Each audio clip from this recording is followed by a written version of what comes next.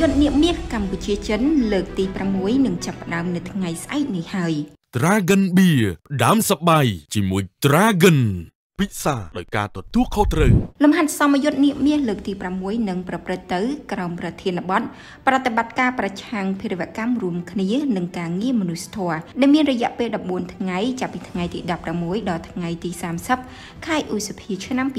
2024ដែលមានការចូលរួមពីកងទ័ពជើងទឹក និងកងទ័ពជើងគោកកម្ពុជាក្នុងនោះសម្រាប់កងទ័ពជើងគោកនឹងត្រូវធ្វើឡើងនៅមជ្ឈមណ្ឌល វឹកវើនកងរាជអាវុធហត្ថស្ថិតក្នុងភូមិច្រកកៅឃុំពីមស្រុកសាមគ្គីមានជ័យខេត្តកំពង់ឆ្នាំងហើយសមយុទ្ធនៅលើសមុទ្រគឺនឹងធ្វើឡើងនៅឯខេត្តព្រះសីហនុ នេះបើតាមការលើកឡើងរបស់ឧត្តមសេនីយ៍តូថៅសូលីម៉ូដែលជាអ្នកនាំពាក្យអគ្គបញ្ជាការដ្ឋាននៃកងយុទ្ធពលខេមរៈភូមិន្ទឧត្តមសេនីយ៍តូថៅសូលីម៉ូបានមានប្រសាសន៍ថា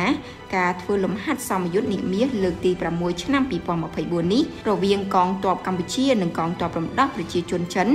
នៅលើទឹកដីកម្ពុជាមិនមានបំណងគំរាមកំហែងឬធ្វើឲ្យប៉ះពាល់ដល់ប្រទេសណាមួយឡើយហើយកម្ពុជាក៏ស្វាគមន៍ជានិច្ចចំពោះប្រទេសជាមិត្តដែលមានបំណងធ្វើលំហាត់សមយុទ្ធប៉ុន្តែត្រូវគោរពសិទ្ធិរបស់កម្ពុជា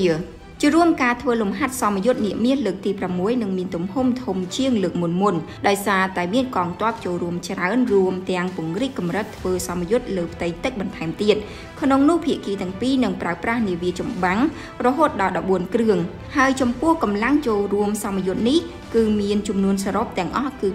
2075នាក់ក្នុងនោះគឺមានកងយុទ្ធពលខេមរៈភូមិន្ទចំនួន1315នាក់និងកងទ័ពរំដោះប្រជាជនចិនចំនួន